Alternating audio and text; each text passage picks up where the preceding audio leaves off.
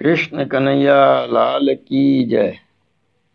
हे माया धनाद की चली जात अंधेर, त्रिगुण सरगुण हो के व्यापक आए फिरत है फेर।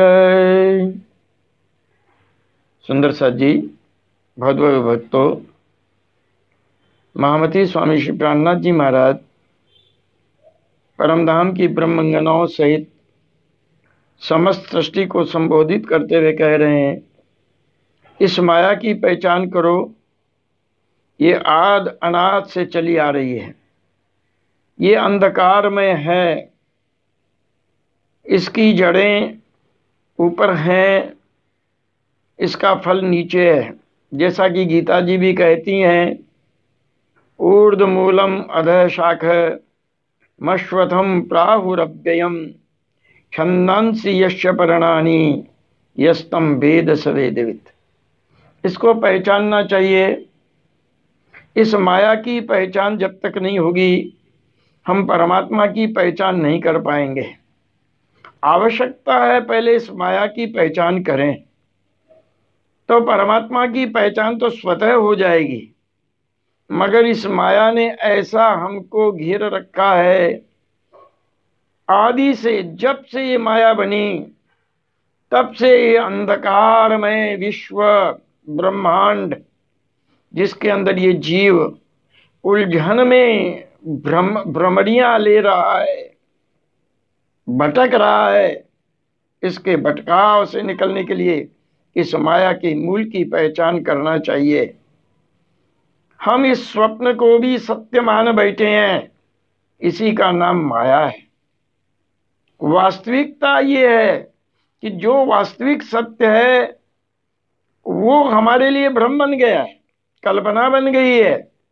और जो मायावी सत्य जिसको हम मान करके चल रहे हैं वो झूठ हमारे लिए सत्य बन गया है।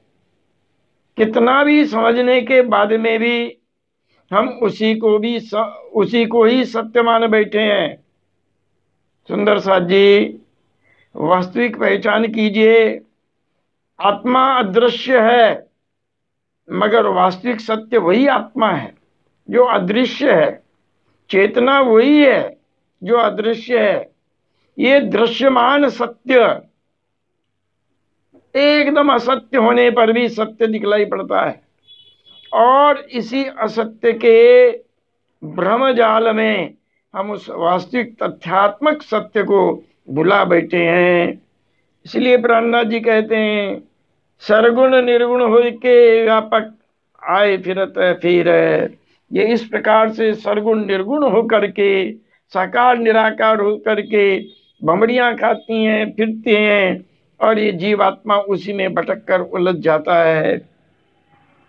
इसलिए पहचान कीजिए, सत्य का दर्शन करना है तो असत्य की पहचान कीजिए।